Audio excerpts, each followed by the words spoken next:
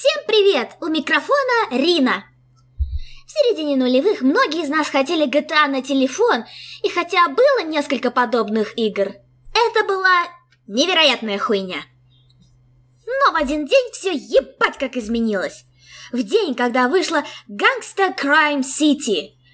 Город в этом шедевре – это такое охуенное комбо с Лос-Анджелесом и Майами. Да Лос-Анджелес и Майами, думаю, это был гениальный выбор. Игровой мир разделен на два района – заброшенный город и престижная набережная. Конечно, в игре есть пиздец какой закрученный сюжет, в котором главный герой задолжал бабла. Ох, ебать, как оригинально! Но, как и в GTA, никто вас не заставляет его проходить. Можете просто страдать хуйней в городе. Если честно, всем было похуй на сюжет в этой игре. Все играли только потому, что это же GTA, можно хуярить прохожих и угонять тачки. Однако и кроме сюжета есть много дополнительных миссий. Уличные гонки, например, и похуй, что управление машиной пиздец, все равно весело. Есть и покупка недвижимости, типа ресторана и звукозаписывающего лейбла. Также продажи конфет.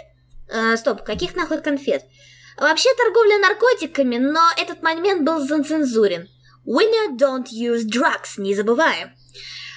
Главное, что в убийствах людей нет ничего плохого, поэтому оружейный магазин, конечно же, обошла цензуру, и там дохуя чего можно купить. Автомат, снайперку, гранатомет, даже нанять телохранителей.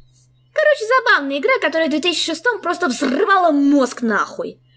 Да, вторая часть была намного лучше, но это уже совсем другая история. Всем пока!